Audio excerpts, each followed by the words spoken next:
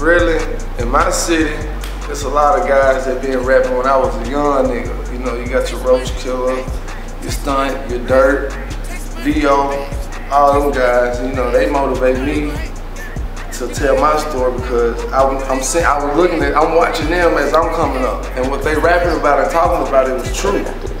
So they really motivate me, and it was banging. It gets you off your feet, get the moving, boom, boom, boom, grooving. So I said, fuck it, I like it. I was playing with music when I was 12, but they really motivated me though. Niggas in my city. My kids, they do. They inspire me to do a lot and have and look towards the future. You know what I mean? It's cool about right now, what's going on now, but where we gonna be at when I'm 30, 32. So family, kids, what we get going.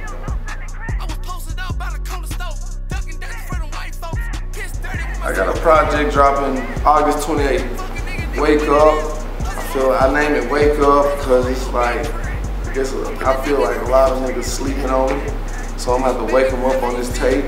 Uh, I'm looking at working with something with Maüze. Street Dreams, I have to wake up. I don't know when, we ain't got no date on that. This is out Rockville, you know, first, Tino P, my nigga, from that town. But we here in the city him.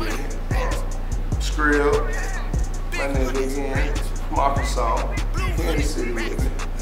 Uh, Lee, Lee Hume, Lee Hume, what's my name? Lee, Lee, Lee with Maüze, you know, dope nigga. I got some dope shit with him. Uh, you know, chase chasing money from the Midwest. They in the A, Take Creation. Mean to me, it's like a, it's an empire. Million dollar empire.